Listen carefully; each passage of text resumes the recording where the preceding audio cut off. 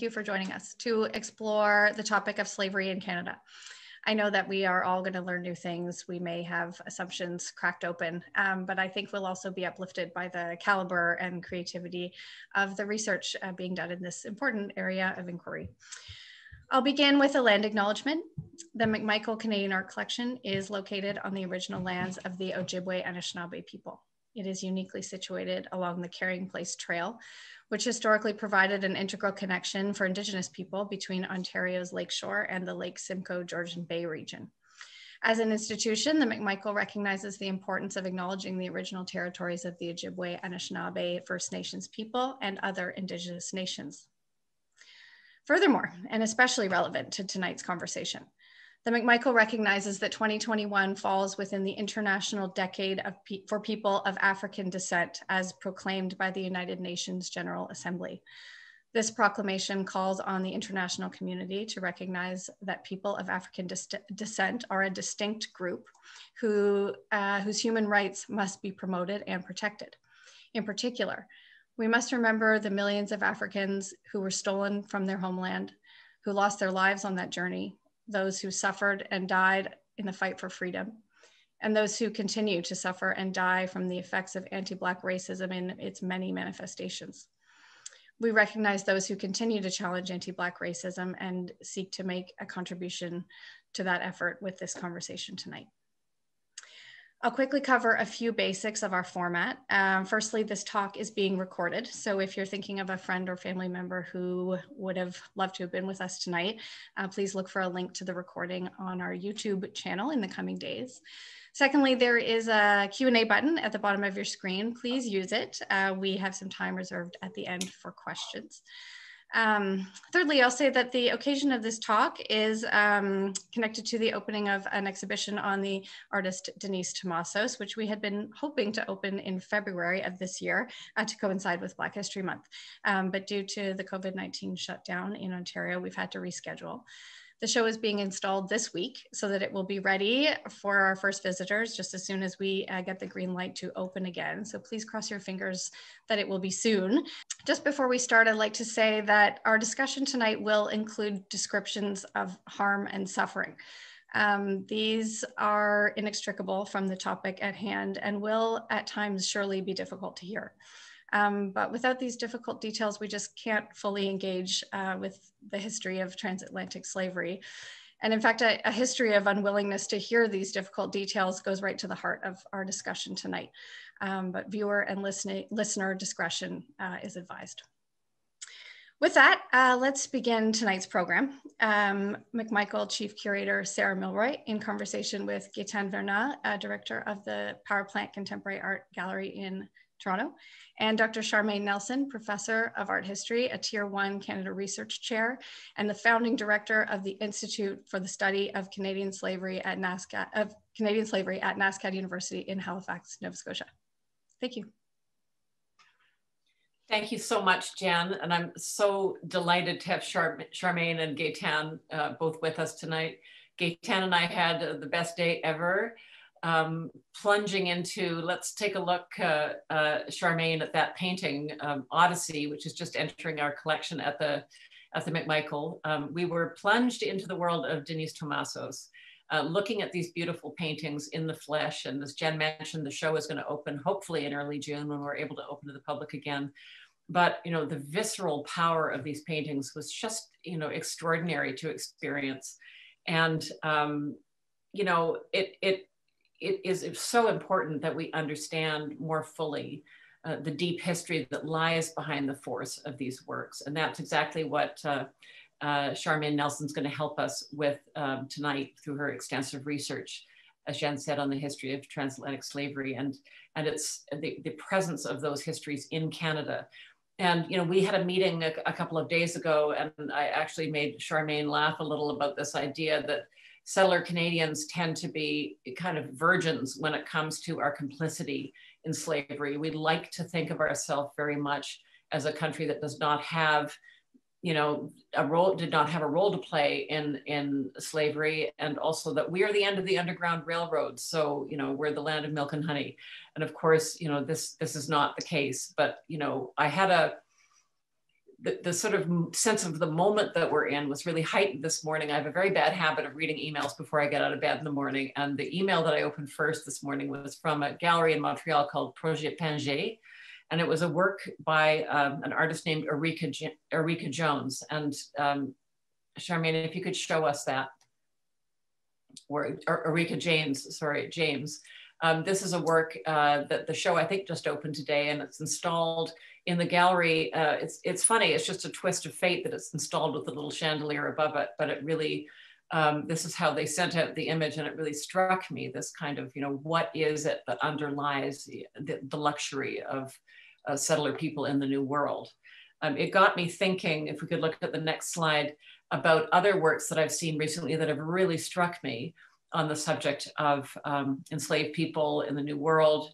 This is um, uh, and Turner's uh, Bell from the Wanted series that our, our very good colleagues at the Art Gallery of Ontario presented as part of the sesquicentennial uh, back in 2017, a spectacular uh, work of contemporary art that really uh, responds to the um, fugitive slave ads that were run in, in uh, Canadian newspapers um, during the historical period that Charmaine will be dealing with tonight.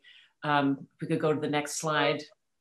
Here's Camille Turner has also continued to be looking carefully at the role of Newfoundland in building uh, slave ships. This is not a, this is sort of a subject that she stumbled into and is now utterly absorbed by and continues to make um, more exhibitions and learning opportunities for the public through her Afronautics uh, research lab. And um, last slide here, one more with Esmaa Mohamoud. Um, again, this is an artist whose work we are about to bring into the um, McMichael Canadian Art Collection, and we're delighted about that. Here, the uh, the you know figures in chains. She's making a very complex point about uh, bodies in athletics, uh, professional sports versus the enslaved and persecuted bodies of, involved in slavery. Um, very, very powerful work. And finally, Chantal Gibson, um, this marvelous historical interventions. I felt sort of a lightning tour of contemporary art that pertains to the history of slavery, but I felt like this was the perfect jumping off point um, for Charmaine tonight. Uh, because it is really about rewriting the history of Canada. And again, um, Charmaine, uh, Gaëtane and I are both so, so grateful for you making the time to be with us tonight. And we look so much forward to hearing your research. And then at the end of our talk, spending some time looking uh, through new eyes at the work of Denise Thomasos that we've gathered uh, for, together at the end of this talk. So take it away, Charmaine, and again, our thanks. Thank you. And thank you so much, Sarah, for your generous invitation. It's really wonderful to be here. I'll just stress again that um, uh, this work is very difficult to, to study. Um, and so I know many of us in Canada uh, have not had the opportunity to learn anything about transatlantic slavery, much more Canadian slavery.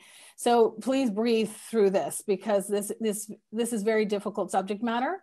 Also, I'll just warn you that I'll use some of the colonial racial terms like Negro and mulatto that we find in the archives. Uh, and this is because I do this uh, strategically because um, Canadians, uh, we really need a reckoning with the fact that these histories are our own and not Caribbean or American uh, imports. So we begin. I begin with this quote from the scholar of uh, slavery, Caribbean slavery, Hilary McDonald Beckles um, about the power of slave owners. And I'll quote, neither colonial statutes or slave codes then invested slaves with any rights over their own bodies, but rather transferred and consolidated such rights within the legal person of the slave owners.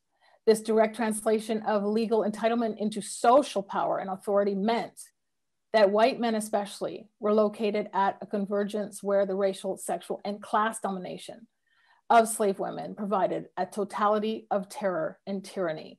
And this applies too to white female slave owners of both uh, enslaved females and males, okay, including children. So just the scope of transatlantic slavery, what are we talking about? Britain, Denmark, and Norway, commonly forgotten as well, France, Portugal, Spain, and Netherlands, the empire builders in the Americas. 400 years in duration from the 1400s until the 1800s. And Cuba and Brazil almost took transatlantic slavery into the 20th century. We need to think about that. Now, what did it entail? Only Black Africans were deemed to be always enslavable. Four million people died on the forced marches to the West African, West African coast. That is, died before ever making it onto a slave ship, but were intended to go onto the slave ship.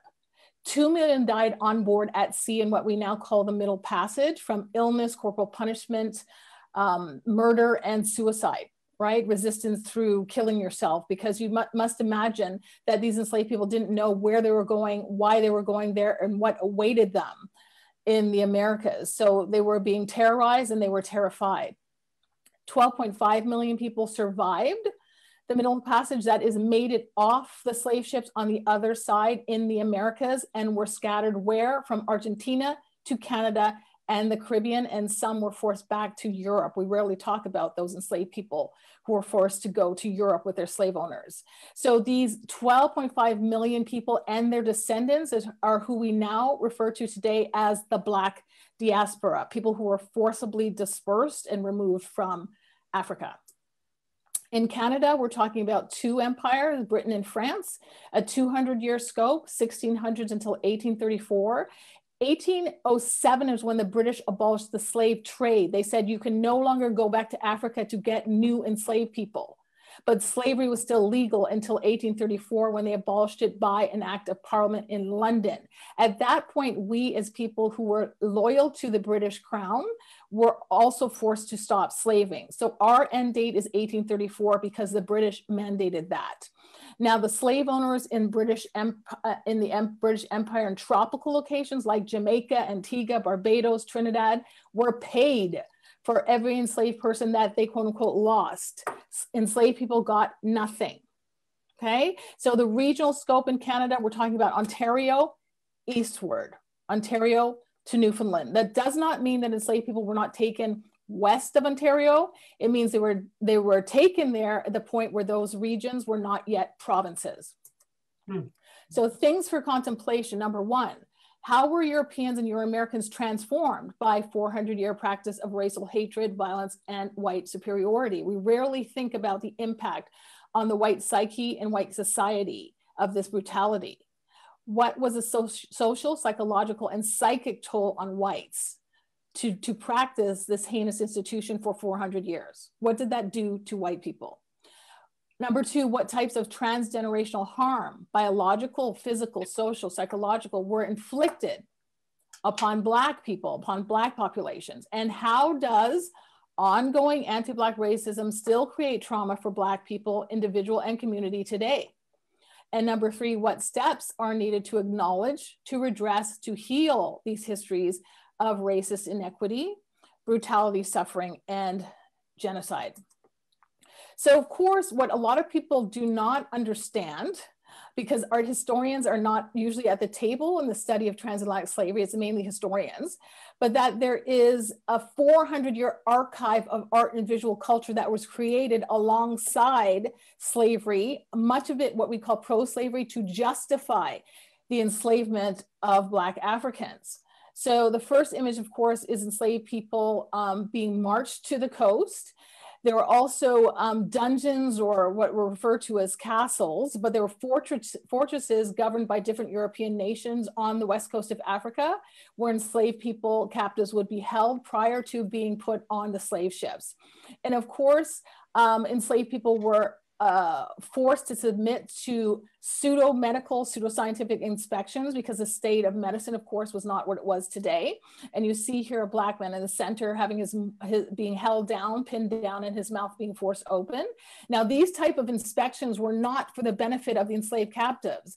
They were for the benefit of the slave ship owner and the slave ship captain, because what they were trying to do is assess if someone was sick and then to make sure they didn't go on the ship because the nature of the confinement in the cargo hold of the ship meant that any type of disease would spread um, very quickly through the enslaved captives.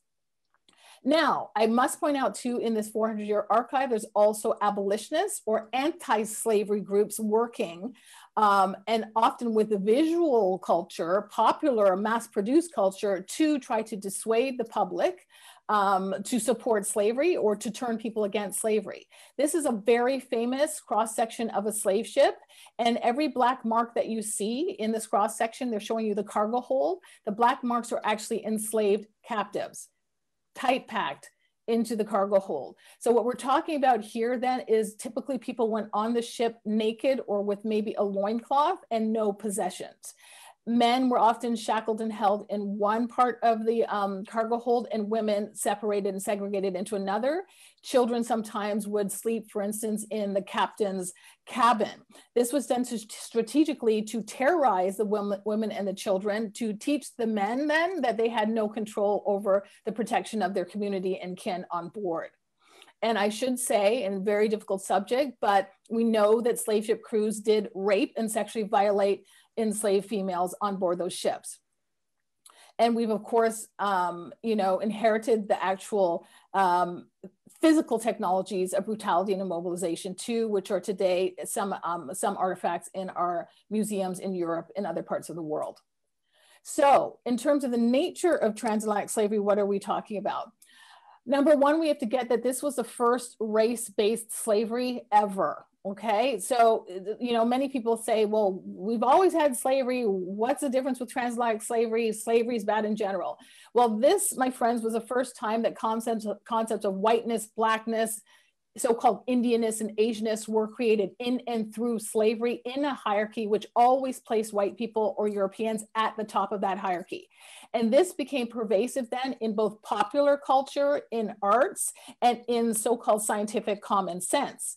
And this also is seen then in the racist imagery of the pseudoscientists. And I say pseudosciences because many of these today, like craniology, phrenology, eugenics, have been um, debunked.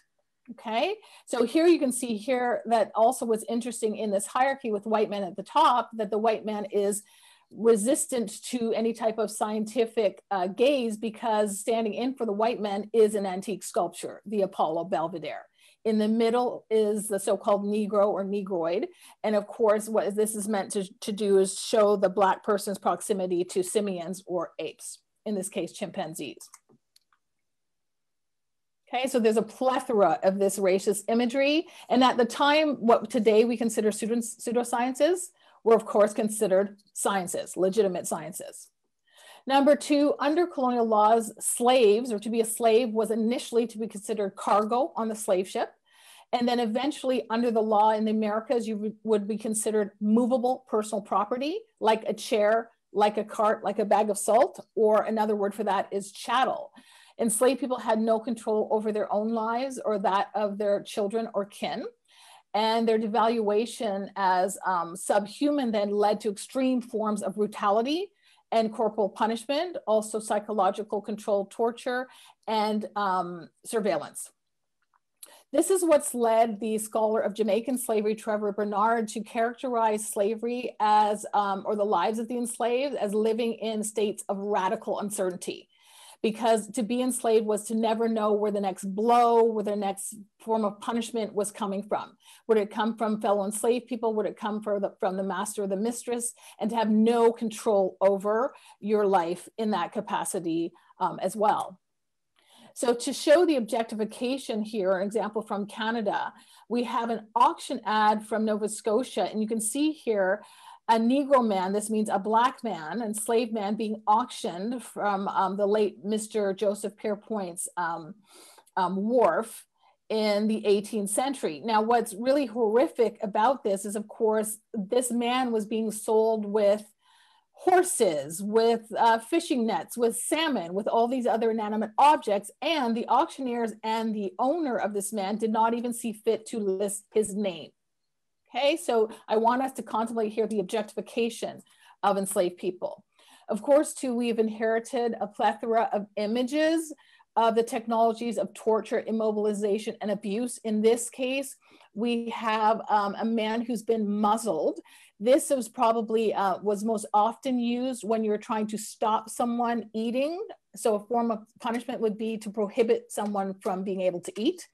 And then the heavy weight that shackled to him was to prohibit him from running. So often this was a type of punishment inflicted upon people who resisted through flight. We also have still some of the um, actual implements of torture themselves. And in a case like this, again, this would be a typical collar placed on someone who ran away because of course, uh, the prongs would prohibit you from moving through dense vegetation and the bells obviously would signal that you were running, right? You, they, they would ring every time you moved.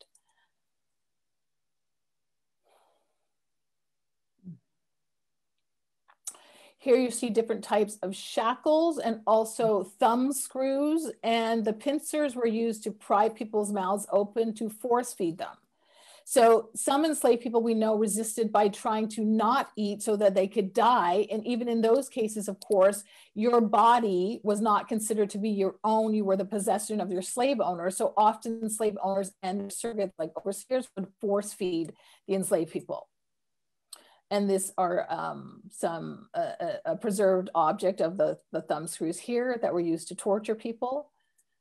And the infamous cat of nine tails, a type of whip. And I should point out that the whips that were used on enslaved people were the same ones that were used on um, cattle, horses, mules, etc. No different than that used on um, livestock. Branding, of course, was practiced prolifically in the um, American South in the Caribbean and also in South America. And we have to think about the type of impunity with which slave owners were functioning because, of course, they did not fear advertising that they had branded people when they were hunting for them. Uh, this is a fugitive slave ad for an enslaved man named George who's run away. And in Jamaica, uh, the slave owner, Hyman, was unafraid to actually print that he had inflicted uh, terrible harm on this man by branding him. And here I just wanted to show you the enslaved child at the right as, as being humiliated with the collar that he's being forced to wear in this, uh, in this context, in this elite or likely aristocratic household. So number three, transatlantic slavery was deliberately structured in what we call a matrilineal order. This is so important. Why? Any child born to an enslaved female, because that woman or that girl was enslaved. The child was born enslaved and owned by the person who owned the female. So, what did this do? It incentivized rape and sexual coercion because slave owners understood that to impregnate that female, regardless of the status or the race of the father, was to get yourself a new unit of labor, a new so called slave. So, that is why then you have an explosion of mixed race people who are enslaved because their mothers were enslaved. And you have the creation of this uh, colonial nomenclature, mulatto, meaning mixed, meaning one white father, uh, one white, white parent, one black parent, quadroon, octoroon, etc. Okay, and these terms were designed to track blackness as a supposed pathology in the person. Okay, so another way that breeding came uh, became practiced, and I literally do mean breeding, slave owners would force to enslave people to couple sexually across sometimes years of their fertile lives. Uh, in this case, we have a Jamaican planter, Matthew Lewis, who kept a breeding list, meaning he was invasively monitoring the fertility and sexual health of the enslaved women on his property and coercing them to have children. How? He'd reward them with a red girdle and silver coins for every child that they would bear for him, understanding that their children were actually his property. So the nature of the sources that we use to learn about slavery uh, are typically either manuscript, meaning handwritten, often one-of-a-kind documents, like those listed here, or printed materials like the ads that I'm, I'm going to be showing you, or also don't forget the art and the visual culture, really central. And again, there's a 400 year archive of the art and visual culture from all of the different empires and the, their colonies that I have pointed out. So um, these documents are very interesting and really horrific and difficult to, to comprehend that we did this to each other for 400 years. This is a plantation ledger, typically planters in places like the Caribbean, the American South, think a country like Brazil, would draw these up January 1st and do a head count of their livestock. To the planter, that included human beings, the Black Africans that they enslaved. Now, in terms of the objectification, you typically only ever get a first name. Why? Because the last name was a name of the person who owned you. That is why we have people in a place like Jamaica and Barbados with English last name. In Brazil, you have Black populations with Portuguese last names. In the Dominican Republic, Spanish last names. Because the last names of our ancestors were stripped, the African names, and the white name of the European owner imposed. And these ledgers can be actually quite vast because in a place like Jamaica, typically you'd have plantations thousands of acres in size with hundreds of enslaved people on each. Often I wanna point out here too, the A's and the C's, what they're tracking here is who was African born and who is Creole. Creole being a term meaning any person born in the Americas. It wasn't a racially specific term in the transatlantic world, in the Anglophone world. So why are they doing this? Because planters rightfully acknowledge that people who were African born typically were more resistant. Why? Because they remembered being free. They remembered another life. So they were monitoring how many Africans were held on each plantation because plantations typically with too many Africans experienced rebellions. Okay, you can see the ages here are mere guesswork in many cases because if the enslaved person wasn't born to you in your as one of your holdings, then you're buying them off the slave ship or through a third party who typically didn't know how old they were either. And from these uh, types of documents, we can ascertain when enslaved children started to be assigned jobs. And uh, what we've determined is usually around the age of four to six as an enslaved child, you had a job, right? In this case, they were assigned to a weeding gang on this plantation. In Canada, uh, signs of the same objectification, we have the slave sale ads, and they're exactly what it sounds like. These are a mechanism printed by the slave owners in newspapers, Canadian newspapers, to sell human beings. Now, what characterizes these are typically you get no name, names were not deemed necessary. You get a racial type, here a Negro boy. Sometimes you get an, an age, and often you get that they're obedient, healthy, and what types of labor you can get from them. So they're typically quite bereft of details. Now, I want you to think about the fact too that those children were being sold by themselves. Where are their parents? Where are their kins? Where are their um, where are their kin? Where are their communities? The slave owners did not care. They did not care. These children are being circulated and separated from their family. That's normal in slavery. Here, another document that we come up with a lot um, that we can find in the archive or manuscript document, bills of sale. And you'll find these again across the transatlantic world. This one from Halifax with a woman, enslaved Black woman named Dinah being sold. And note that one of the people here is a minister of the Christian church. And of course, many Christians were abolitionists and many others were slave owners and pro-slavery advocates. Another type of really shocking document, if you don't study slavery, is will and estate inventories are very useful to us. Why? Enslaved people again were considered chattel or movable personal property. That meant that if the slave owner died before the enslaved person, and if they were wealthy enough to leave a will, then the enslaved person was handed down and either sold out of the will or passed down to an heir through the mechanism of the will. So in this case, we have Thursday, a black girl, being sold to John Bishop out of her initial slave owner, John Rock's will. And we have her evaluation here, or sorry, the sale price at 20 pounds.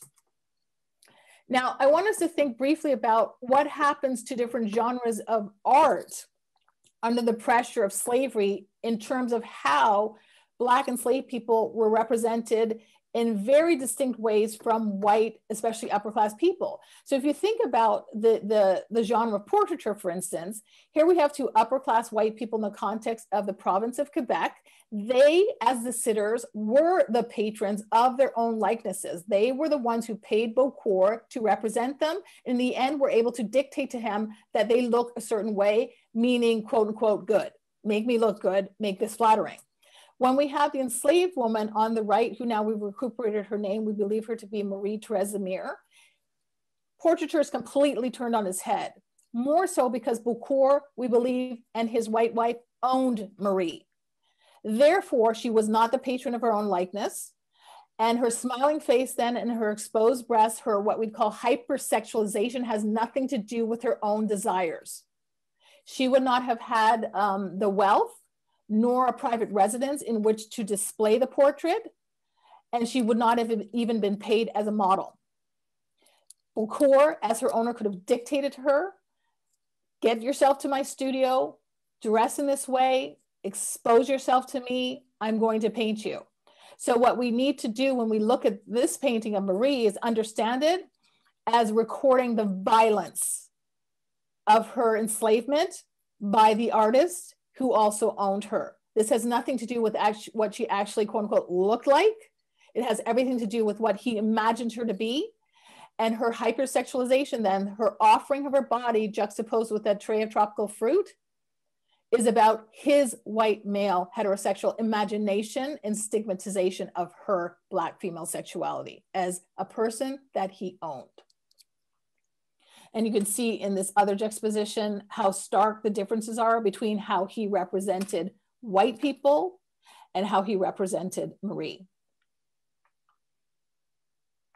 So when we're thinking about Canadian slavery, we're not thinking about this. It was not tropical. We could not sustain a plantation economy all year round. So there's quite a few things that were distinct. So we're again thinking about Ontario eastward to Newfoundland. And uh, what I want to do is to push us to think about what we've typically done in this nation, which is to enshrine and to pat ourselves on the back for the mm-hmm. Underground Railroad, which is three decades, my friends. Underground Railroad was 1834, the end of the British uh, practice of transatlantic slavery, to 1865, the end of the American Civil War. Is that those 31 years when enslaved African Americans were fleeing north into Canada? Prior to that, we were slaving for 200 years. We don't teach the 200 years at any level of our curriculum, not in elementary school, not in high school, not in CEGEP in Quebec, not in university. So what does that say about what we've done to our colonial histories in terms of what we have been willing to face? So we literally take ourselves off the maps of slavery and outside and put ourselves outside of the histories. On this map, for instance, there should be trade routes going up from the Caribbean to ports like what? Halifax, Quebec City, Montreal. Why is that important? Uh, I'll get to some imagery on that in a second, but in terms of specificity of Canadian slavery, just wanted to highlight a couple of things. Climate, of course, different, drastic seasonal, seasonal shifts, cold winters. We could not sustain a plantation economy. Doesn't mean we were better, kinder, gentler slave owners. We didn't do it because we couldn't do it. Okay, that's why there were less enslaved people in Canada, not because there was more benevolence amongst the slave owning classes. Number two, enslaved people were forced to live in the homes or on a lesser building in, the, in a prop on the property of their slave owners. And typically we're talking about one or two enslaved people at a time owned by a couple, a family, or an individual. Number three, the small size of the enslaved Black population and the nature of their living then meant that it would have been extraordinarily different, difficult for them to maintain their African and African Creole cultures. How did they congregate? Were they allowed to congregate, to practice their musical culture, to their orality, their singing, to bury their dead? They wanted the, way they wanted to do that, to dress the way they wanted to do, remembering Africa. Were they able to do that? How were they able to do that? We still need to research that quite a bit. Number four, most enslaved people lived in urban areas. This is completely different from think of the American South, Jamaica, Haiti, where you flip that, it's about the plantation, it's about rurality. In Canada, most enslaved people, for instance, Quebec, the province, were living in Quebec City first, Montreal second, and then the rest of the province. Number five, enslaved often did not, uh, or sorry, did a combination of both domestic and outdoor labor. So you, as that one or two enslaved people of those those one or two people in your in that household, you did whatever the slave master or mistress told you to do. One day is take care of the kid, next day is churn the butter, then milk the cow, then go outside and cut the wood. You do what they tell you to do, which is multifaceted and not limited to then a specialization as we see in places like Jamaica, where your job day in, day out might have been to work with sugarcane Number six, white slave owners were both middle and upper class, males and females. Um, so typically we think enslaved own, slave owners were always rich. Not so. Indeed, governors in Canada owned enslaved people, but also merchants, butchers, tailors, lawyers, soldiers. And in Quebec, also, what's unique about the province of Quebec and New France before it under the French, both indigenous and black people were being enslaved. And lastly, extraordinary, extraordinary heterogeneity of what blackness was uh, in terms of enslaved and free black people historically in Canada. African Canadian, African American, African Anglo and Franco Caribbean, and people from elsewhere in the Americas. And on top of that, the minority within the minority, enslaved Africans born on the continent, African born people. So, a person like James McGill, I just want to shake you up here a bit. We usually revere him as a great philanthropist, founder of McGill University, that's celebrating their 200th year anniversary this year. And we only like to remember him as a fur trader. Not true. He was also what was called a West Indian merchant, meaning that he was bringing in uh, tropical slave produced crops from places like Jamaica, Barbados, Antigua, etc. So he not only enslaved indigenous and black people in Montreal, he also was uh, exploiting slave labor in places like Jamaica. And evidence of this is, of course, again, uh, available to us in the newspapers. We look at the ships moving between Canadian and Caribbean ports. We look at the old Jamaican rum being sold by someone like Andrew McGill in Halifax, and the sugar being sold again by other merchants in a place like Halifax, and the trade in human beings. Here's the merchant Joshua Mauger selling six enslaved who people he's calling Creoles. And in, in Halifax, I should point out, Creole meant Caribbean born. So he's advertising to us that this shipment of Black people has come in from the Caribbean. I'd like to point out too that it's highly likely that these six people were not related at all. That the 12 and 13 year old boys are being again sold on their own, sold away from family and kin. And that none of these people are um, a community, so to speak. So here, just look briefly at the racial terminology that emerged. Of course, it's denser in tropical locations of plantation slavery. Jamaica had a six tier naming practice. What you find in a place like Quebec is Negro, Negro mulatto, and mulatto when you're talking about Black people. And when you're talking about Indigenous people, they had the term Panis for males and Panise for females. And that's a term, of course, that did not pay any attention to the specific ethnicity or nation of the indigenous people. Now, today, thankfully, we've moved on to, um, you know, different uh, naming practices. Some are um, practices that combine your racial uh, designation with national designation, like African Canadian, for instance, European Canadian and others like Jamaican Canadian, Haitian American um, are not a racial designation at all because of course a Jamaican Canadian could be an Asian person, for instance. And then of course terms like Black, White, Asian, Indigenous.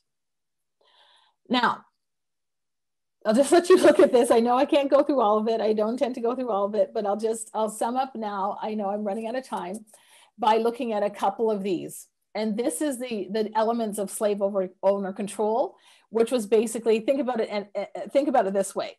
Uh, instead of me talking about what slave owners controlled, um, they controlled everything, everything about the enslaved. Because again, you were an object considered chattel under the law. And that meant too that you did not have the right in most colonial jurisdictions to rep represent yourself before a court of law, to bring a case, let's say, um, uh, on behalf of yourself, if your slave owner was abusing you viciously in terms of corporal punishment, you weren't allowed to bring that case to a court of law because you were not considered a human, so you could not petition the court. So just to break down a couple of these for you, place of residence. In the plantation locations of tropical slavery, typically you actually have so-called Negro villages or slave quarters because again, there's hundreds of enslaved people on the one plantation that might be thousands of acres in size. In Canada, again, not so. We have enslaved people forced to live in the homes of the slave owners. So think about the incessant surveillance under which they lived. In this case, um, I show you here a fugitive slave ad for a woman named Chloe who escaped from her slave owner, Judah Joseph, in the province of Quebec. What's fascinating here is that um, the nature of George Joseph's description tells us that Chloe had to escape from where she was being held, which was his home. And she did so by placing a ladder against the house. She's escaping, of course, from um, an upper story window. That's why she needed the ladder. And what's remarkable here too is we see the nature of her very sophisticated plan because there was a man waiting for her on the river in a canoe. So often too, what's brilliant about these fugitive slave ads, horrific in intent, but what's wonderful is that the slave owners are so desperate to get the enslaved person back that they often revealed things about the enslaved, their intellect, their intelligence, their sophisticated reasoning, things that the slave owner denied that they possessed in the first place, which is why the slave owner insisted that they needed to be enslaved. But because they were so desperate to get the enslaved person back, often then they're exposing things about them like their intelligence. In the tropical regions here, I just want to point out that the big house on the hill is typically where the um, slave master mistress would live. In the American South, it was called the big house. In a place like Jamaica, it was called the great house. And where the, the Negro village would have been is down below in the trees. And so surveillance here, what I want to point out is that surveillance was built into the architectural landscape of the plantation. Why do this? So that you could watch the enslaved people. And even when you weren't watching them, they would feel as if they were being watched. So, a mechanism to stop them from resisting through flight and resisting in other ways. In terms of the immobilization of enslaved people um, and the control of their movement, you find in Quebec, for instance, the period of the Revolutionary War, um, ads like this, which actually detail the fact that this enslaved woman had been forced up from New York by this loyalist who then turns around and sells her in Quebec. So again, who did she leave behind? Who was she forced to leave behind? Because he decided who he would take with him and who would be left. That was his power and his control. And just a couple more, and then I'll end there, Sarah, and hand it back to you. In terms of mobility and passes, here we have um, beautiful signs of resistance of enslaved people. You have Andrew, who is escaping from the Montreal vintner James Crofton, and Crofton takes a step to say that he thinks he has, Andrew, that is, forged certificates of his freedom and passes. So, what does this tell us? It tells us that there's a network that is mm-hmm. helping enslaved people to produce passes. And what passes were, were what they sound like a piece of paper, either handwritten or typeset, which would state where that enslaved person was allowed to go in a certain period of time for the slave owner. Think about that. So your mobility on a day-to-day -day basis was so controlled by the slave owner that they'd give you a piece of paper that would state the two points between which you were allowed to move. Now, why you needed that pass too is that any white person felt entitled to stop you and question you about where you were going if you were a black person who they thought was an enslaved person. That's another thing we have to understand about the logic of passes. And of course, we have some extent um, uh, details, sometimes fragments or entire passes that have still survived.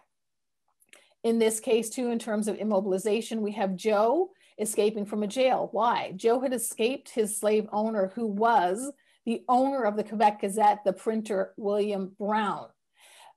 And where we find Joe initially upon that escape is locked up in jail. Why? Because the owners had an expectation that the state would help them to capture or recapture that enslaved person.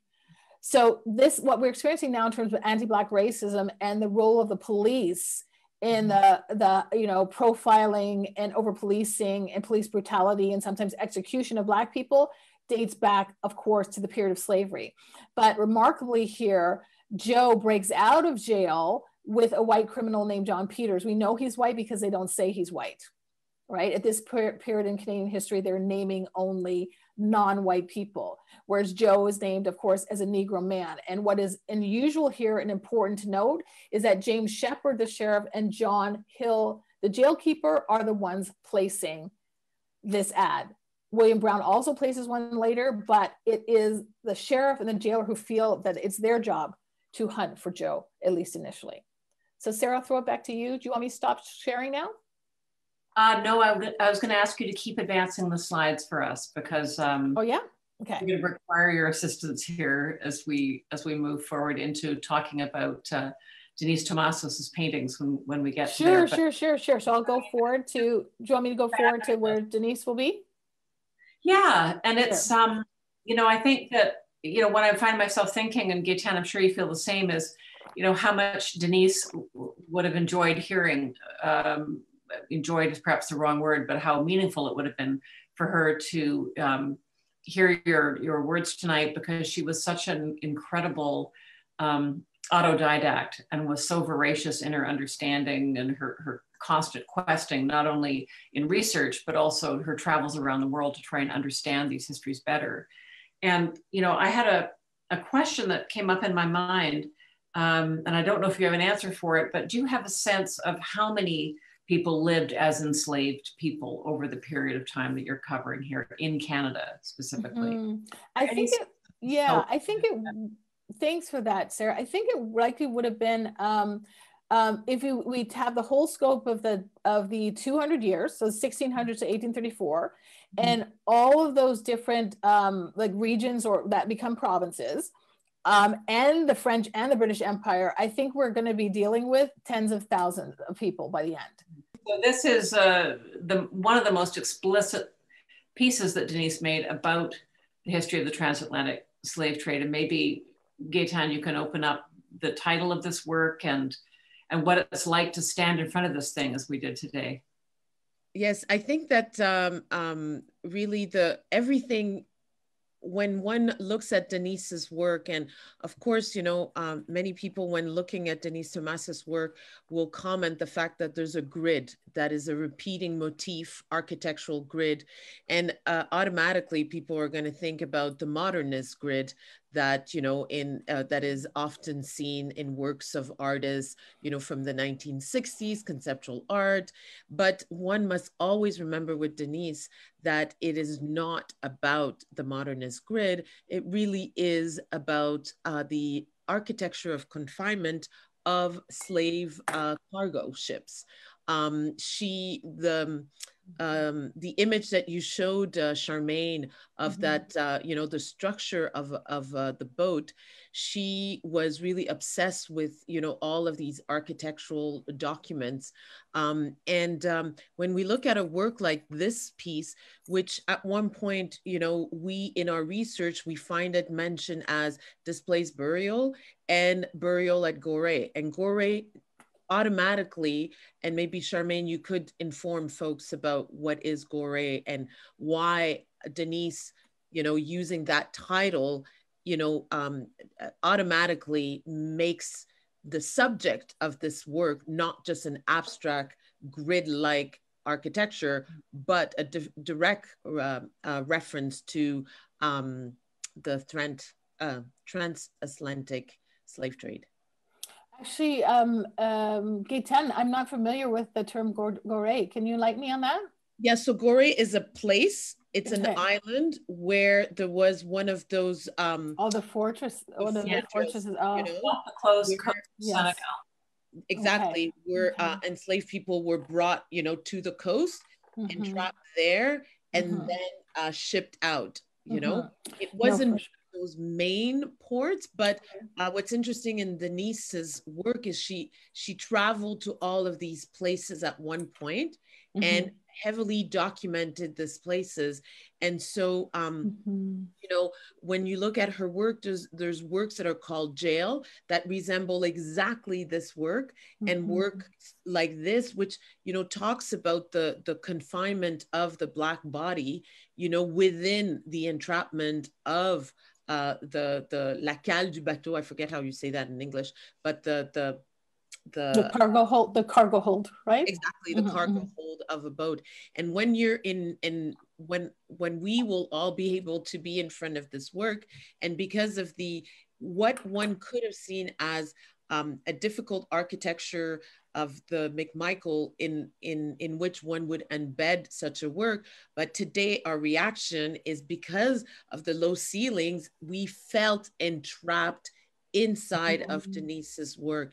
And so it's, mm-hmm. it's also, I think also we felt, um, you were talking a lot, um, Charmaine, about people being just, you know, taken out of their context, losing their family, being without kin, therefore mm-hmm. being unrooted. And I think one of the things that Gaëtane and I felt like this is a floor to ceiling picture in our gallery, and it's extremely large. Like we come about mm-hmm. halfway up when we stand in front of it. Mm-hmm. And uh, perhaps a little more than that. It's about eight foot something high and, you know, mm-hmm. almost twice as long. And there is this sense of, of vertigo, of having, of, of, sort of losing your balance and being swept up by something that's sort of cyclonic. Mm-hmm. And, you know, it, it, really does evoke that feeling of losing your groundedness and, and being, yeah. you know, it actually made us feel almost physically sick to look yeah. at it. Can I say, just as as me looking at it on the screen, I feel that now because it makes me feel claustrophobic because there's no way yeah. out of her image.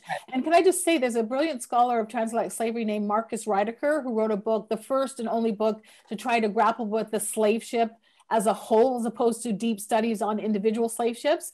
And he mm. talked about recuperating information that in the cargo hold between decks, that typically there'd be about three speed of, of, space or less so that people when they were under deck which could be it's a majority of the time that they're under deck in the in the weeks long voyage between some place like nigeria today nigeria to let's say jamaica um, they could literally not sit up when they're shackled one to another and then there were the oxygen holes were sometimes not sufficient so some people were just suffocating to death and of course you're shackled one to another so the sense was too that and what we know is that enslaved people were rarely brought on deck and brought in on deck just above deck strategically to be forcibly exercised so that their muscles wouldn't atrophy and mm-hmm. often Europeans would play their music and force enslaved people to dance. So the terminology that emerged was to be danced mm. of course. And so, and, and mm. I'm sure for a lot of these Africans, for all of these Africans, it would have been such, uh, you know, first of all, a crushing introduction to European ideas of cultural practice where, where torture became dance for the European. Whereas for the African, of course, their ideas of spirituality and dance were woven together, of religion and dance were woven together, of family and kinship and dance were woven together. So to be forced to dance to the European man's, let's say, fiddle, for, for, for, for instance, so that you wouldn't atrophy, your body wouldn't atrophy, would have been just a complete horrific indignity for mm-hmm. these enslaved people too but they would have been caught in this you know thomasos's web for most of the time on the ship and seen the light of day very very little in those weeks long voyages yeah so you you really get a feeling when you're in front of this work that you could imagine um being underneath you know and seeing just not seeing any light or glimmers of light yes. through the openings yeah yeah. Shall we move on to the next image, sure. So this is a, a, series of works. We have them installed. We were in there, you know, doing the installation today of works that have this kind of spiraling, spinning feeling to them. And it is a reference. I think she was very interested in the in industrial prison complexes. Mm -hmm. we go to the next uh, slide, is called surveillance. Oh, oops, the one after this one.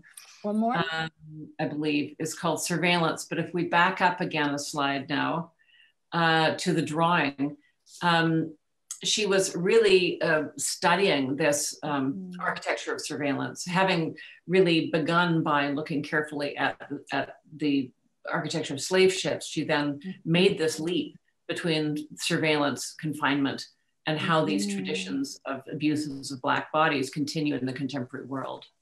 Sarah, that's so powerful too, because again, to, to this scholar Rediker, he describes when he says, What is a slave ship? It was a factory that produced the commodity of the slave. You went on a captive, you came off in the Americas a slave. It also was a floating dungeon, it was a floating prison. So this is so, um, you know, on point to what Tom- Thomasos is, is, is seeing as well. And of course, there were treatises written on how to, of course, like naval how to construct naval architecture meaning boats and th three masted vessels and some of them were, sp were specific and peculiar to how to construct the slave ship right so we have to understand that there's certain firms then especially in Europe and places like Canada and the American Northeast, that all they were doing were building merchant ships, which were also doubling as slave ships. Mm -hmm. Right. Mm -hmm. So we have to un understand that as well. Yeah. It, it's interesting in what you were saying before, Charmaine. Um, about the the you know how the plantation was organized you know yes. with that question of surveillance yes you know on top to be able to look below yes. and then and then that totally triggered with me that whole series of works of denyse called surveillance right so right. she starts with the slave ship she thinks of um you mm-hmm. know uh, vernacular architecture she then looks at you know uh, um cities, ghettos, you know, urban entrapment. And then mm-hmm. towards the, you know, um, right after when she starts thinking of this piece that she does um, at um, at the AGO, a wall uh, painting, um, it's all about mass incarceration um, uh, systems, prisons, and mm-hmm. then we see the the word surveillance coming back and forward, and always these panopticon, you know, this notion of surveillance that mm-hmm. at no time are you safe within, mm-hmm. there's no private space. And I think also, again, this grid form that is a repeating uh, form in her work. And you mm-hmm. have to think of, you know, not only your physical entrapment, but your mental entrapment. And mm-hmm. as we mm-hmm. often say, you know, Black folks, how you know the the the let's say the conversation that you have with your children at a certain age about how you must behave or how do you behave if the police stops you you know this is something we all go through that conversation with mm-hmm. our parents at a certain age and having to already think that when there's a policeman you know police does not mean security or safety it means mm-hmm. danger and it goes back to what you were talking about the role of the police within tracking the mm-hmm. runaway slaves. Yes, so. and Gaëtane, to your point, uh, my father called me up because you know he, he, we talk every day, but he called me up and said, I think it was yesterday. He said, Charmaine, I cannot believe it. The the the mighty, the magnificent Robert Nesta Marley has been dead for forty years. And what you made me think of when you're talking about mentality in his uh, really powerful, one of his many very powerful songs, Redemption Song, Bob Marley sings, Emancipate yourself from mental slavery, mm-hmm. right? None but ourselves can free our minds, right? But part of this too is when you think about, you know, go back to the architecture of the, the plantation with the house on the hill. What were they banking on? What did they know would happen? You make people feel like they're being watched all the time and eventually you don't have to watch them anymore. They'll watch themselves and watch each other. Mm-hmm. you That's- don't have to be on the horse with the whip in your hand. You they will stay because they think you're on the horse with the whip in the hand right sarah? Yeah exactly. Mm-hmm. if you go to the next um, slide too there's a, a way in which Thomasos comes to understand um, these you know these architectural shapes suggest kind of um, lo loading docks and shipping containers and so on. And they certainly suggest to me kind of, you know, um, humans trafficking and people making difficult entry between different, you know, uh, parts of the world, um, human cargo. Uh, so there's like, again, you know, and then this overlooking kind of a tower on the left-hand side that seems to be in a different kind of condition than the one architecturally across the bottom. But you know what's really what Gaëtane and I ended up talking about in the in the essay for the catalog that we published is this you know our, our, our interview is called Floating Worlds because nothing is ever rooted in the ground with Thomasos. Everything is always mm. provisional and kind of hanging in space in a way that is not kind of fixed. And I think that really speaks, Charmaine, to mm-hmm. this condition of being like, uh, you know, at the mercy of wherever you're going to be sent or not being rooted with family or kin in any, in any, I can't remember that phrase. It was um, that you used of like could be continue, continuously in a kind of suspended state of certainty. Mm-hmm. Um, yeah, radical, your, radical uncertainty. Right, radical right, uncertainty. right, right. You know, that yeah. sort of seems like a good um, title for an exhibition um, of mm-hmm. Denyse Thomasos. I kind of wish we'd found that. Mm-hmm. But uh, mm-hmm. but you know that is really to me that radical uncertainty, the way things are sketched and resketched, and and the way things are always sort of shuddering and changing into the mm-hmm. next state of being. That that radical uncertainty seems to me to be precisely what these pictures are mm-hmm. about. Mm-hmm. And I, I like, um, you know, and uh, people would know that I'm the least familiar amongst us of uh, with her work. But what's so resonating with me too is the way it's making me feel, which is not yeah. good, but which is which is exactly I understand what she wants to elicit. But part of that too is making me think back to Sarah's point if you know when i when i do this work on slavery i keep coming back and back to the, this this point of you know today we use the term post-traumatic stress disorder a lot but i think mm-hmm. when i think of enslaved people i think there was no post about it you were constantly in a state of traumatic stress you never got to be post your traumatic stress because it was yeah. ongoing and again to go back to andrew with his for supposedly forged passes that is telling us and we know from other sources that listen, any white person, slave owner, or not, thought they could stop, harass, manhandle any black person who they suspected of being an enslaved person because of that racial hierarchy and white the function of white superiority. So, what did that mean for you as a black person, as a black enslaved person who was literally under that the colonial law of your region, considered to be a thing? What types of harm did that open up for you? Not just from your you know, discreet slave owner, but from anybody who felt mm-hmm. they wanted to try it with you that day. Yes. You know, and of course, self-defense is something that you you undertook as enslaved person at your peril. Mm-hmm. Right? Because built into the code, code noir, for instance, the governing, you know, slave code of the French Empire was that you were to be executed as an enslaved person if you drew the blood of a slave master. Right? So what did that look like? You, it was also written into these laws that you were basically not allowed to defend yourself as an enslaved person. Mm-hmm. Mm-hmm. Can you take us to the next slide, Charmaine? And again, thank you for doing such an expert job at getting us from A to B. We did have this very elaborate plan to share the clicker and be able to go back and forth, but we realized that we had hit the wall of our technological savvy. Charmaine has leapt in to help us. So Odyssey. So this is a work that we're just bringing into um, the McMichael's collection. Thank you to uh, Andrew and Christine Dunn who have acquired it for us as a promised gift. And you know the thing that I do find kind of extraordinary about this painting in Gaëtane, I don't know how you feel about it, but is this sweep, this sweeping form up to the top right.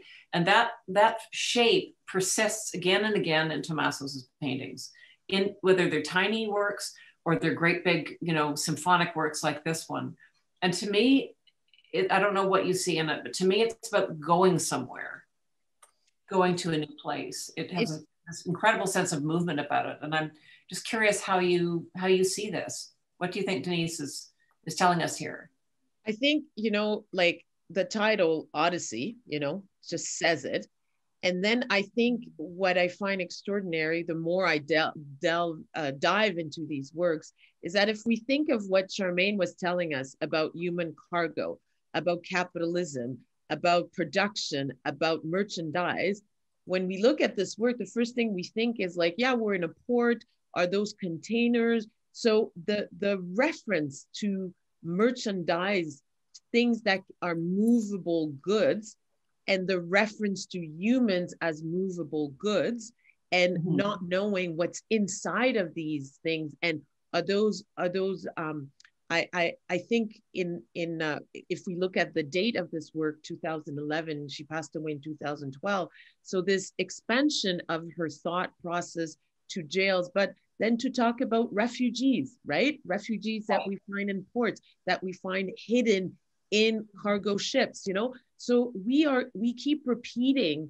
because people who flee their country, first of all, have to pay passage, mm-hmm. and then they're reduced to being cargo, hidden, mm-hmm. and then when revealed, you know, there's horrific stories of what happens to refugees on boats on those cargo ships. So, mm-hmm. but there is that notion of movement, you know, that instability of the black body um, you know and and then one thing that's really important in denyse's work is after she finished her uh her ba in toronto like while she was doing that work a lot of her work was around coffins uh, was around you know very political work where the black body was physically drawn present figurative.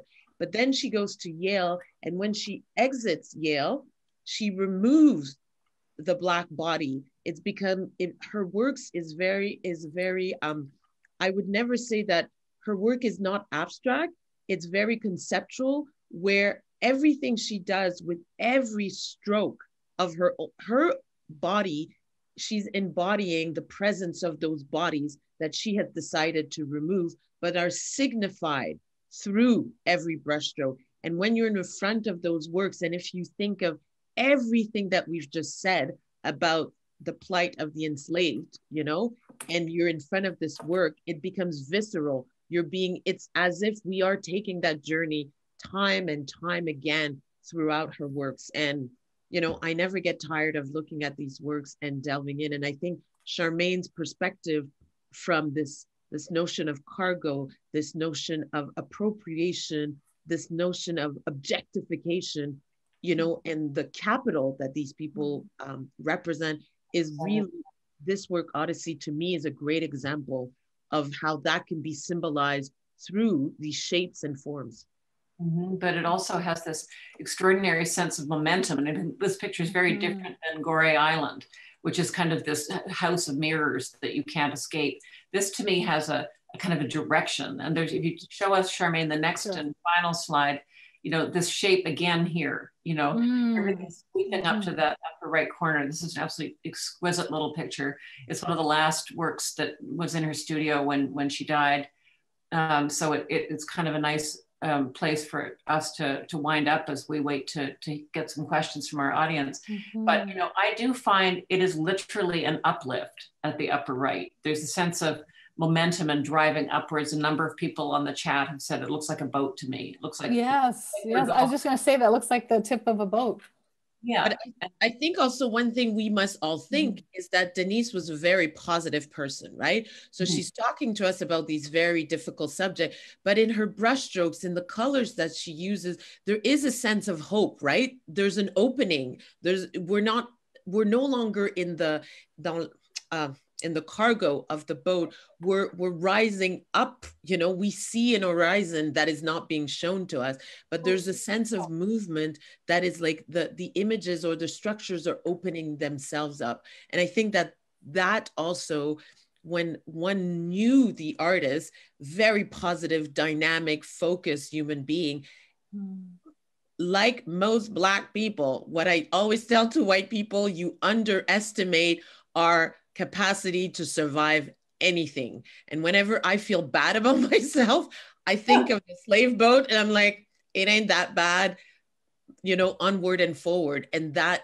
the underestimation of the capacity of these Africans to survive these terrible things and yet survive and try to thrive and still have the the the force and we've seen it with the black lives matter protests this force to keep fighting for this freedom that keeps being you know um, something that people still question whether we are allowed to be on the same level as white European. And it's an ingrained thing that has been embedded in people's minds, the way Charmaine was, was talking about, like 400 years of that gets passed along to generation of white Europeans, you know? Mm-hmm. Um, so we have to we have to use art and our institutions to do better to have these types of conversations like we're having today because that's what you know that's what artists do and that's why an artist like denyse is just so fabulous mm-hmm. so jen are you ah well said Gaëtane says kenneth montague thank you for being with us ken um, jen perhaps there are some questions that people want to uh, sure and you know what do you want me to stop sharing so that they can see no, us better I think we should look at this beautiful painting. Yeah. Okay, great. Okay. Because it's just the sheer force of it is so sort of Can I say one thing, Sarah, which I think is really important? Yeah. Often people forget that art history is about art and history. And Charmaine has proven to us today how her deep dive into visual history and where she has been looking, you know, and bringing that next to Denyse's work, we we all are richer in our understanding of her work, you know, without having her present, but through the work of an historian like Charmaine, we understand how this visual culture is also a place where we can dig uh, deeply to understand the society in which we're embedded. Mm-hmm. Absolutely. Gaëtane, I'm glad you said that um, because I, I, said off the top that we would be, you know, talking about harm and suffering, um, but also that we would be uplifted by the caliber and, and creative engagement uh, that is going on today in this difficult topic. And I, I don't know, I think I may have understated uh, the former and overpromised a bit on the latter, but I think you got right to that piece that is uplifting about how, uh, you know, a, um, an investigation of Denyse's work can allow us to get at things that uh, we mightn't have got at otherwise, and, and we can be really grateful um, for that. I, am feeling that um, after this time we've spent together. Um, I, before we get to questions for um, Dr. Charmaine Nelson, uh, someone asked um, if uh, Sarah and Gaëtane could give just a bit of background about Denyse Thomasos because um, not everyone uh, on, on our uh, seminar is familiar with her work. And so might one of you just say a bit about her biography? Gaëtane, do you want to do the honors? Sure, Sarah. So uh, Denyse Thomasos was a Trinidadian-born Canadian uh, painter, and um, so she was uh, at eight years old. She moved with her family from Trinidad to Toronto, and then she studied at the University of Tor Toronto, and then um, did her uh, BA BFA there, um, and um, and then went to Yale uh, did her MFA at Yale. Then she taught at Tyler um, um, um, School of Art in Philadelphia, and then was a professor at Rutgers University, and um, and was a painter, uh, a painter who you know dedicated like when you speak to her mother her her sibling she always wanted to be a painter this is what she wanted to do and she wanted to have a career and she wanted to also teaching was very important to her and um, she had two galleries. She had one gallery, Lennon Weinberg in New York, and she had the great Olga Korper Gallery in Toronto. And um, she won so many awards, like Guggenheim Fellowship, Pew Fellowship. I mean, you know, she was uh, an accomplished artist and um, she died too soon in 2012 and i must say that i miss her every day and um, and she was really an extraordinary artist who was really her work uh, as i've mentioned if you want to understand her work what we've talked about so abstract uh, work. Um, the grid is a recurring architectural form that you will see throughout her career. And, um, and also this idea that from the architecture of slave ship to the architectures of city dwellings to vernacular architecture that are found in Trinidad, in, um, in India, in China, um, in um, Western Africa. And then the last part a deep interest in um, in um, prison, you know, massive uh, industrialized prison system, and this notion of entrapment of the black body, which is weaved in different narratives. So, Sarah, is am I missing anything? No, I think you've really covered it, and it's really this interested this interest that she has in architectural structure, but also social structures. Like, what are the things that organize us? What are the structures of thought that organize us, as well as the architectural structures that have contain or could potentially uh, liberate us. You know, I think I think that she kind of contemplates both at various times in the career. And she died, um, I should say she died of a very routine, it was a freakish accident. She died of a very routine, in a very routine uh, medical test mm-hmm. um, and just was vanished. And it was just this enormous shock for for so many of us in the art community that respected her so much. So um, you know, it's just been a marvelous privilege to to open the work up again. We've had uh, in the Q&A um, a few questions, but more than questions, loads of expressions of appreciation um, for uh, this conversation. Um, Charmaine, you talked about this um, a little bit, but I, I, think it's worth revisiting what do you think you know if you can point to a few kind of key pieces uh, key sources of the kind of canadian naivete about transatlantic slavery and and what you think we can do to dismantle that naivete in the in the short medium and long term Right. Thank you for that so much, Jennifer. Um, well, from my own experience, I'm now at NSCAD University in Halifax, but I taught at McGill for 17 years, and I routinely taught a class that I call the visual culture of slavery and uh, typically had 60 to 100 students and usually about 75% Canadian. So I'd always on the first day say to everybody, and I should say, by the way, uh, uh, then another 15 to 20% American students and the rest from elsewhere. But I'd ask them on the first day, how many of you come to my class knowing that slavery happened in Canada? And across the 17 years, I had one student say yes. And mm-hmm. what they told me about, though, was that they had been schooled in the Underground Railroad since grade two. So let's just pause and think about that. So again, we're teaching from elementary school the 30 year history that makes us look and feel good. And the students knew nothing about Canadian slavery. And not just that, they didn't know it had existed. And when I finally got to that student who said yes, that one student, I said, Oh, would you please? I was happy. I said, Would you please? would you please? I was like, Yes, would you please share with us the content that your teacher had has had imparted to you? And they said there was no content.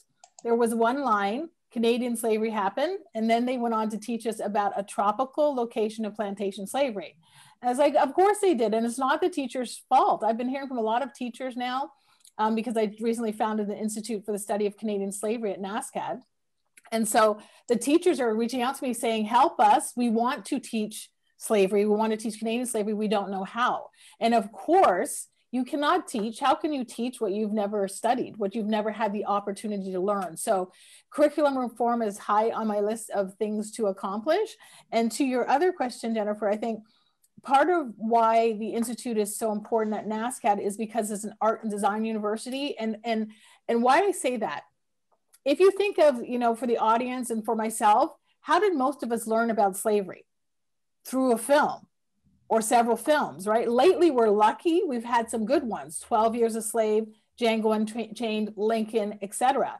But prior to that, there were nostalgic rubbish. Really, I'm sorry, but like Gone with the Wind is not accurate at all, right? People love the film for other reasons, but please don't love it because it's depicting slavery in a realistic manner because it's not. Okay, so what is my point? Film then is one method through which to teach people about their history. And it's particularly important for slavery because um, most people will never crack open an academic book. And I understand why you don't want to do that. But also, you might not pick up even the novel or the nonfiction book that's a trade book on slavery, but you will watch 12 Years a Slave. So, why it's so important too in terms of the teaching of Canadian slavery is that there's still no documentary or narrative film on Canadian slavery.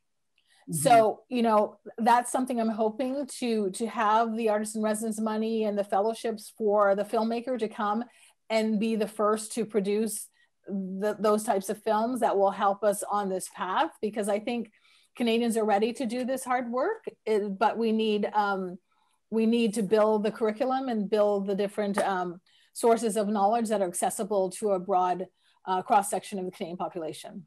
And Charmaine, you were telling us the other day when we when we were talking about a CBC series. Yes. That you recommended. Can you tell us about that? And also, I think about yes. the new series that I think is coming on stream on Friday. Uh, the Barry Jenkins. The Barry, right, right. Underground Railroad that's been turned into a, into a into a television series as well.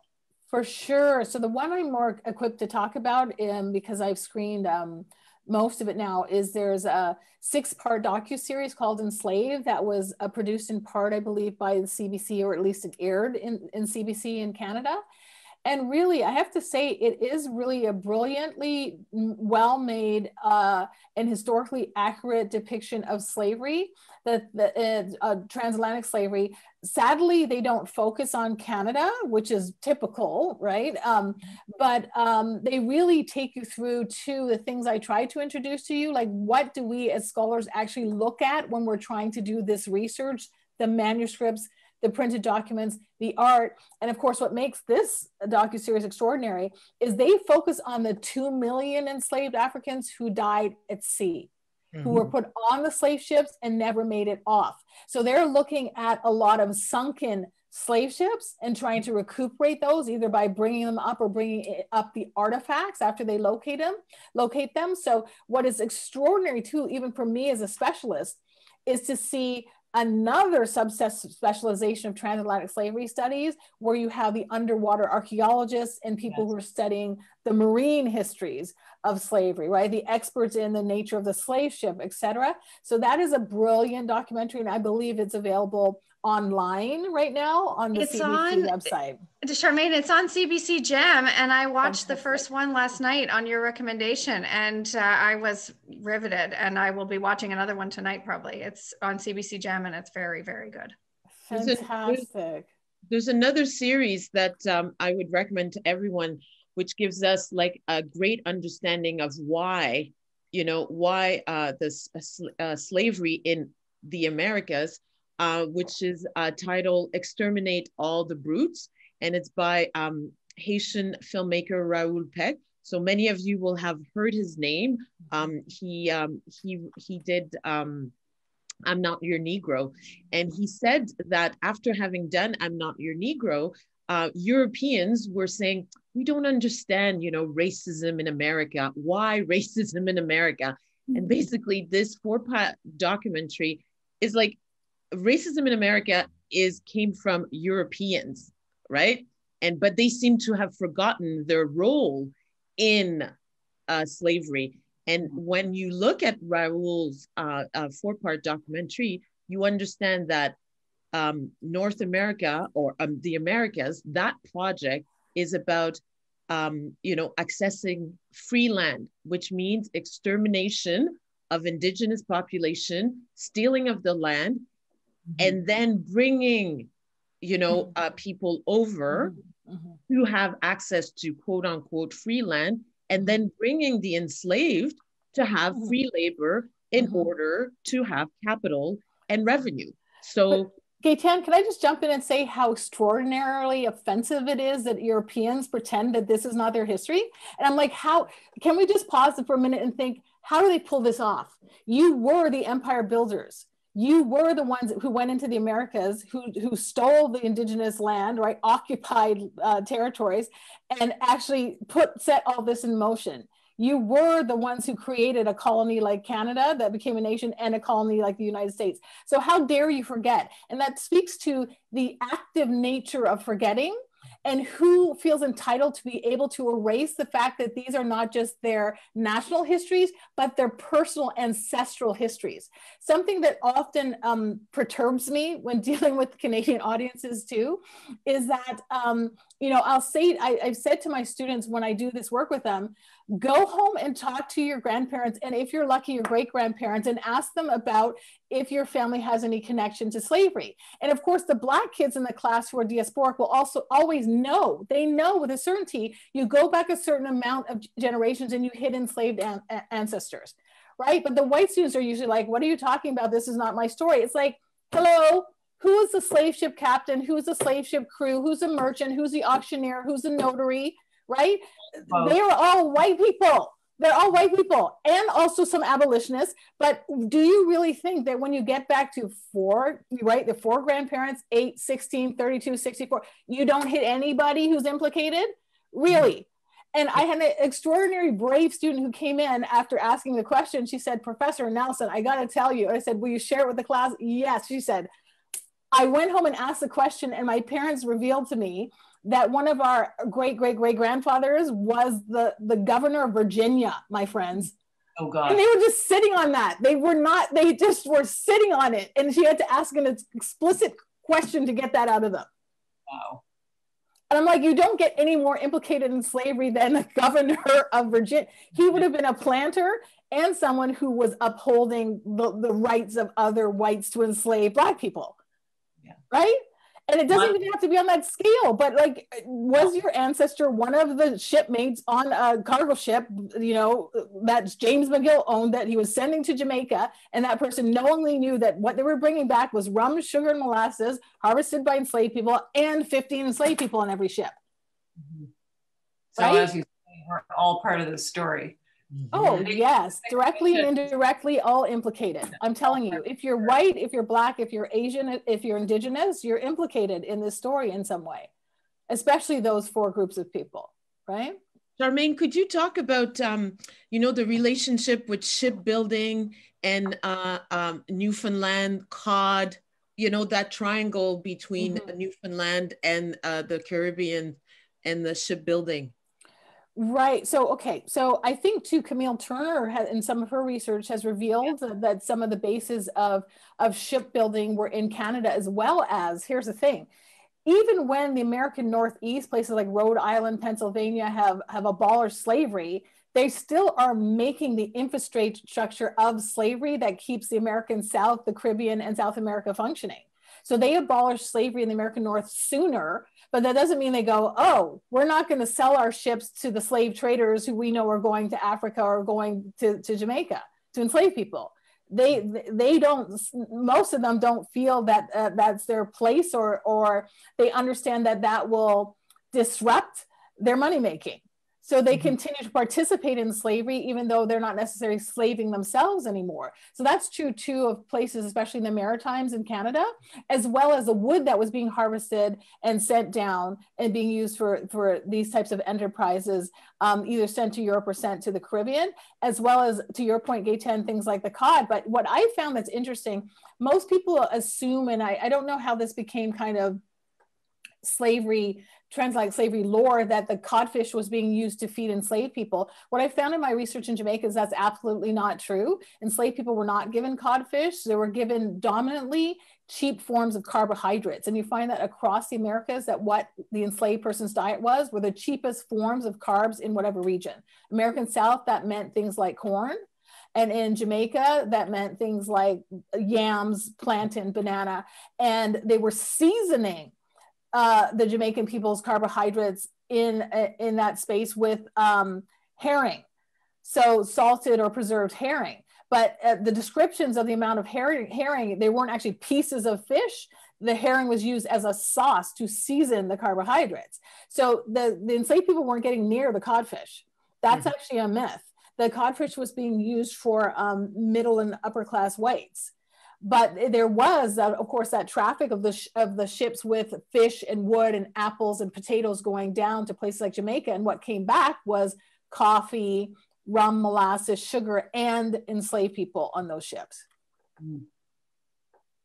well jen I, I have a feeling jen that you have an eye on the the clock here. Are we? Well, I do, but I think Sarah, we we um, can we ask just Charmaine to say a little more about the Institute for the Study of Canadian Slavery before we wrap up. Oh, thank you so much, Jennifer. So I just made the move to um, to to Halifax to to join the faculty at NSCAD University in 2020. And part of what got me to leave McGill after almost two decades was the fact that I was offered the ability to found my own research institute, which is extraordinary. I'm very, very privileged. So what I founded is the Institute for the Study of Canadian Slavery. And the vision is from year to year to have cohorts of scholars, scholars, sorry, and artists in residence who will be doing work in four mandate areas that overlap in some capacity with the study of Canadian slavery. So I'm so pleased to announce that um, we are advertising right now for our first cohort that will include two artists in residence and two MA graduate fellows um, who will join us in 2021, 2022 virtually. So please, if you know artists, if you are a grad student, uh, please spread the word. The applications are opened until June 30th.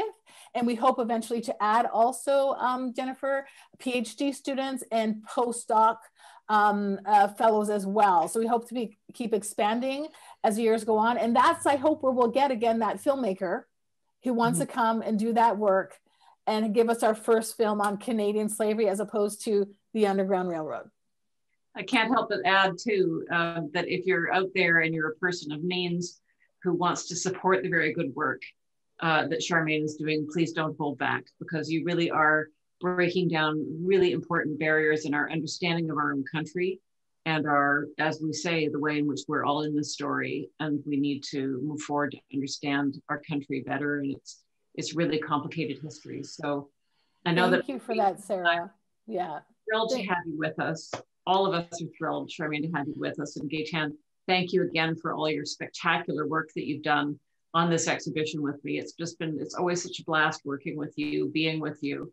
and particularly having with us tonight uh, on our day of triumph when we actually got to install an exhibition after like, a year and a half. May I say just a couple more things before we wrap up? Uh, first of all, Charmaine, the existence of your institute is very uplifting. So thank you for telling you. us about that and its growth. We will all uh, watch for its growth. Um, I want to say thank you to all of you. We're feeling so grateful um, to Charmaine for uh, sharing her research with us, um, to uh, Denyse Thomasos for exploring these difficult topics mm-hmm. um, in her work, and to Gaëtane and Sarah for uh, foregrounding that work in an exhibition. We have produced a wonderful publication that goes with this um, exhibition. It is hot off the press just a few days ago. Uh, it is only available through our e-shop and it's only $25 and it reproduces um, all of the works in the exhibition in beautiful uh, color with an, es an essay by Esi Edugyan, um, who is a writer that many of you will know, uh, a wonderful essay in here and um, um a kind of interview between Sarah and Gaëtane about um, Denyse Thomasos' career and work. Um, I should also tell you that uh, I'm sure you now have a, a, big appetite for Denyse Thomasos' work. Do look ahead. Um, at the AGO is doing a lot of research uh, into Denyse Thomasos' career and working toward a major project in the future. So look out for that. Um, we are so proud to be able to offer um, meaningful discussions around the art of Canada and how it intersects with, you know, all kinds of elements of uh, current uh, creative life, uh, free of charge to audiences across Canada and beyond. But if you enjoyed uh, the talk tonight and are moved to join our circle of supporters, I, I hope you uh, might do so on our website. There's all kinds of uh, really easy ways to donate to the McMichael um, and donations of every amount help us to give the art of Canada the world-class treatment that we uh, feel it deserves. Um, and once again, we are looking forward to throwing open our doors at the McMichael um, to welcome you in person uh, just as soon as it's allowed. Please uh, subscribe to our website or check out social media and uh, watch for the announcement of the reopening. Until then, please purchase this book from our e-shop um, and uh, we will look forward to seeing you at uh, our next virtual or in-person gathering. Thanks for joining us tonight. Good night, everyone. Thank, thank you, you Charmaine, uh, Gaëtane, Sarah, thank you again. Bye.